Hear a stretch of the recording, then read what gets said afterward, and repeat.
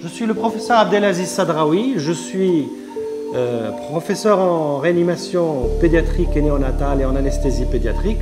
J'ai fait ma formation et mon cursus universitaire à la faculté de médecine de Casablanca, où j'ai obtenu le titre de professeur agrégé en 1995.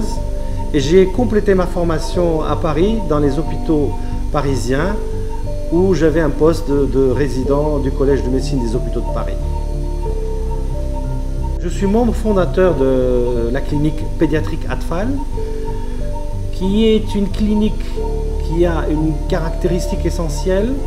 C'est une clinique qui euh, euh, s'adresse uniquement aux enfants, c'est-à-dire des nouveau-nés prématurés jusqu'à l'âge de 18 ans. Exclusivement.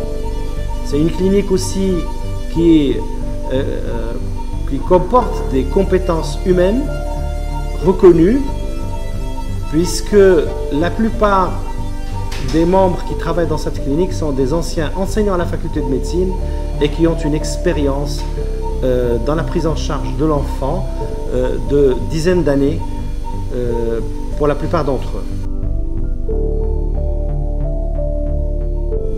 Ici, dans ce service de réanimation néonatale, nous nous occupons des nouveau-nés malades, en particulier les nouveau-nés qui ont des problèmes euh, de détresse respiratoire ou de détresse hémodynamique, mais également les nouveau-nés qui ont des malformations, qui ont besoin d'être opérés euh, pour leur survie et pour leur bien-être.